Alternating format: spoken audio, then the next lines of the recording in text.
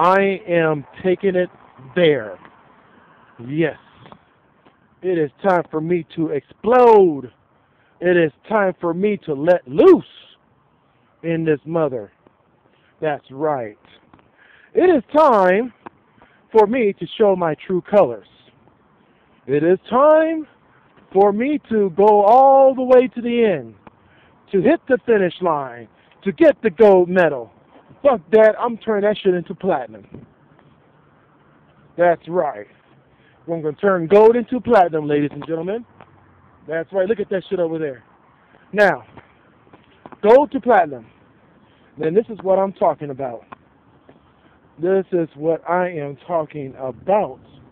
We're going to examine a lot of different things in this vlog. Not only is this going to be just a simple geek log, vlog, a log, p log, it's also going to we're going to talk about things that are political. We're going to talk about things that are historical. We're going to talk about things that are truthful. All the fools. We're going to do all the fools. All the fools, because there's a lot of fools out there that are thinking about different fools that are not true.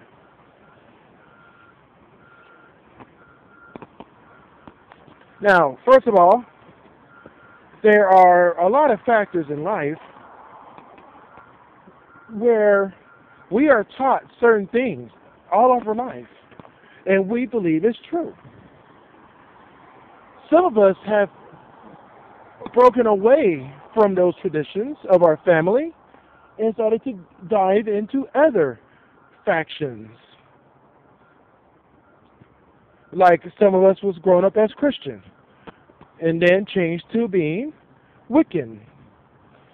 You know, uh, they're I mean, and, and because they're going against what they were taught, but they didn't do it on purpose. They just feel that Wiccan is their best way of life.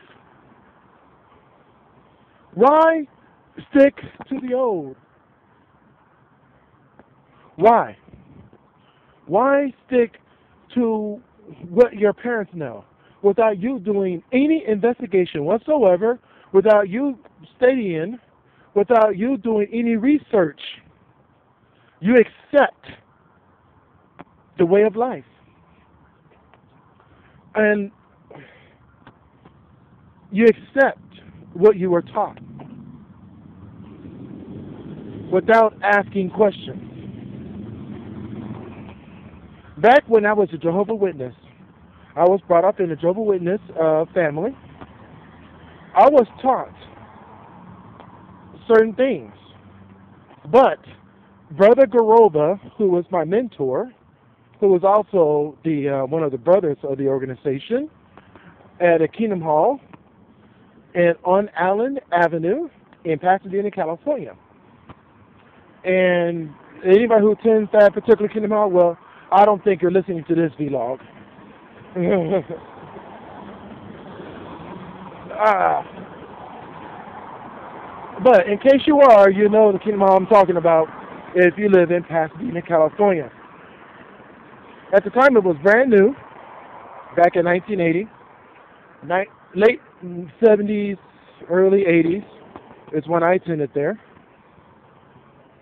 And every time something was brought up, I always questioned it. And one of the main questions I've had with the brothers there, any anybody who sat and sat with me and taught me, and the main one was Brother Garova, I asked him this question. I said, Brother Garova, sir, what happened? What happened when Adam and Eve had his children? Cain and Abel.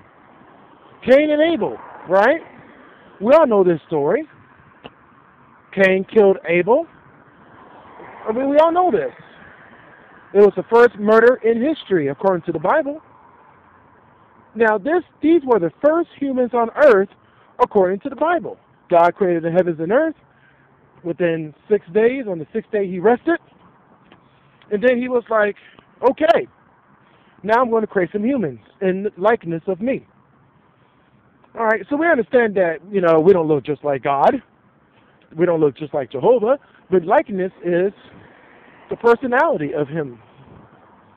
But he restricted our knowledge.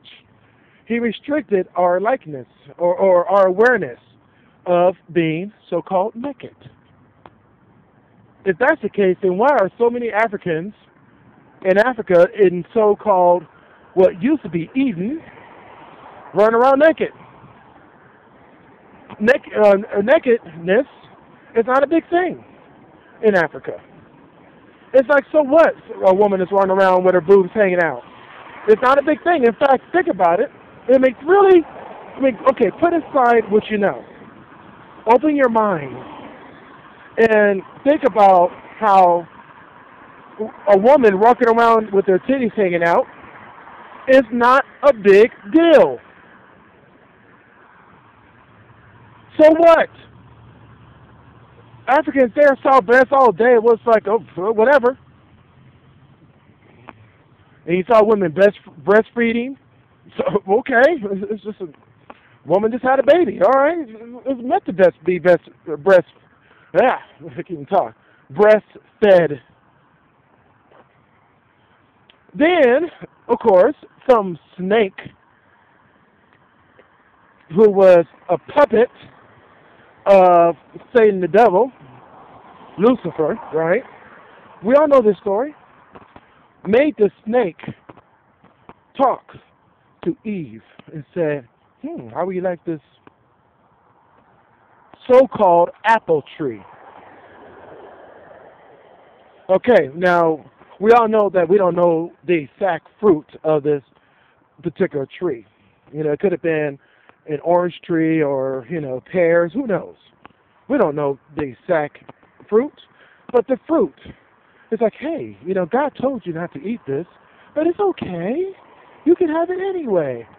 And okay, I understand humans being curious.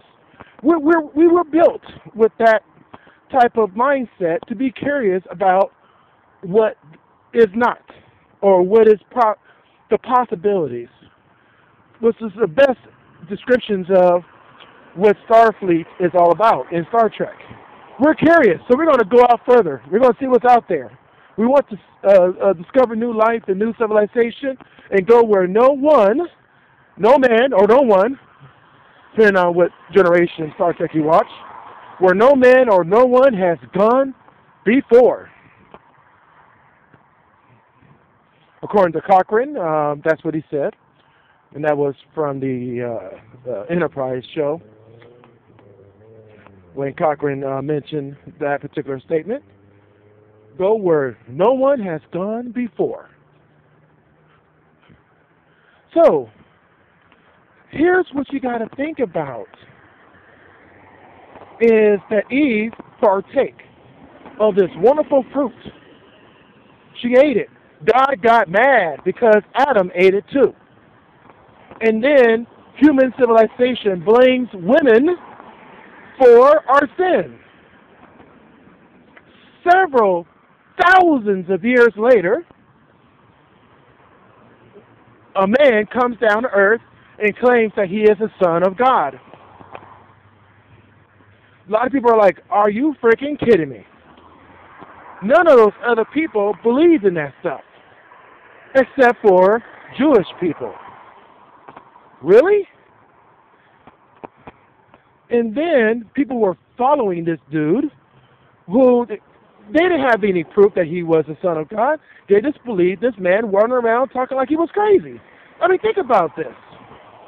Think, I mean, just think about it. Okay? Really think about this. And then people believe that Jesus is white. He was in the Middle East. How in the hell is he white? He's probably the same color as Saddam Hussein. Same color as Osama bin Laden. Probably darker, probably lighter, but he definitely wasn't white. And then it describes his ass in the Bible, holy hair and all that stuff. Okay, we can talk about that all day, because then we can go into the fact that the Bible was translated. So we don't know what type of hair he had because it could have been translated wrong. I don't know ancient Hebrew. Do you? I don't know ancient Latin, ancient Arabic. So does anybody know what the Bible really says? It's best interpretation. Is that right? Oh, then you can say, well, the Word of God helped the translators. No. Do we have any proof of this? Is there any proof? Or do we just go on faith all by itself? And that's what a lot of Christians are saying these days. Okay, we're now coming up with theories about our life here on earth, about our surrounding universe that surrounds us. And it's all theories. None of it's proven. We haven't been out there yet. We don't know what's really out there. Because every time we look in space, we see what happened in the past. Because it takes that long for light to get to us. So we really don't know what's out there. Because all those stars we see out there, half of them are probably gone by now. But let's go back some more. I mean, let's go back. I want to take you back to Cain and Abel. Because I think that's where I started and just started rambling about something else. Cain and Abel. Cain got jealous of Abel because he was offering something to God that was more special. Now, is God that much in vain that he needs something more special? If I came up to God and gave him a feather, he'll be just as happy, or should be. And, and let's say that my brother who brought a damn goat. But then I think Cain did bring something more, but God favored Abel because Abel had more faith. Isn't that how the Bible goes? Okay.